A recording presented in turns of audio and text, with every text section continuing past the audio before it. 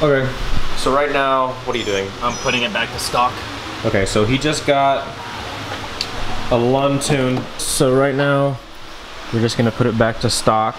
The stock tune from the old Bama tuner. All right, try two. Just installed the N gauge up here, routing wire all the way down to the OBD2 port. Let's give it a start, see if we can tell the difference. Probably not.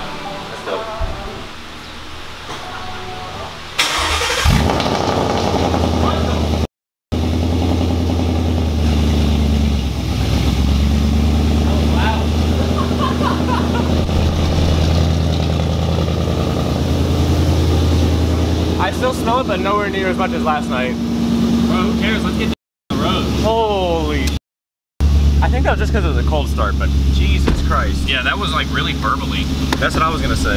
I was like, I was like, okay. This is the second?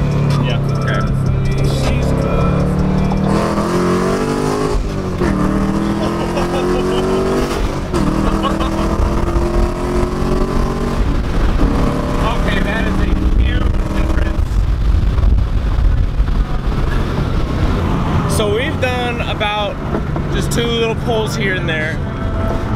Um, so the tune that we've been running on, that's been in that I've wrote wrote in like the whole time is what Bama. First drive on Lund. Holy crap.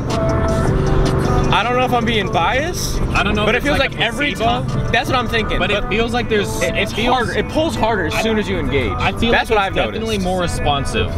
It feels like there's less engine lag or like fuel cut because it it just goes now. Like it just goes.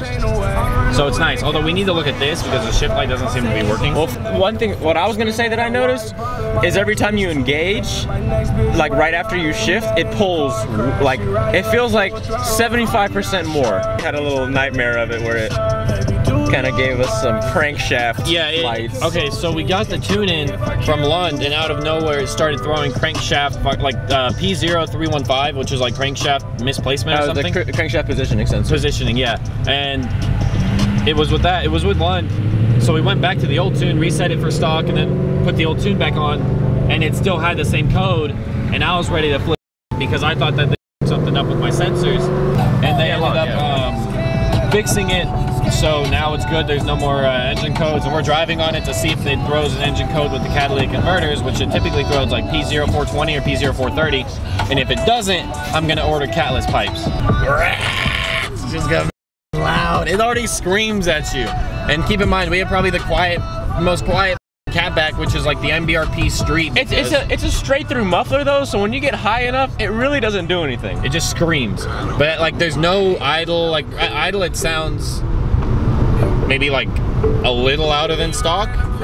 Actually, it's it's a good amount louder than stock. But The 15 through 17 mufflers are quiet. as Any mufflers you put on this will be loud.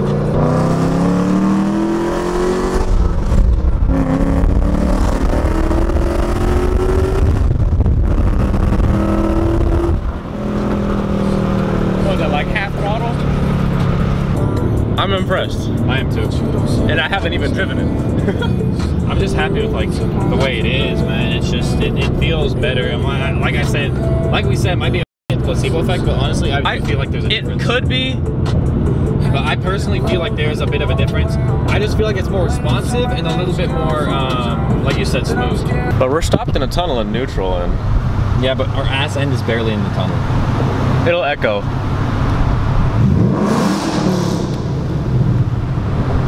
Sounds the same. Yeah. Just wait, catless, bro. At this point. God, that so good. No sh- You could probably go to fourth and 80, can't you? Did you just go from sixth to fourth? Yeah.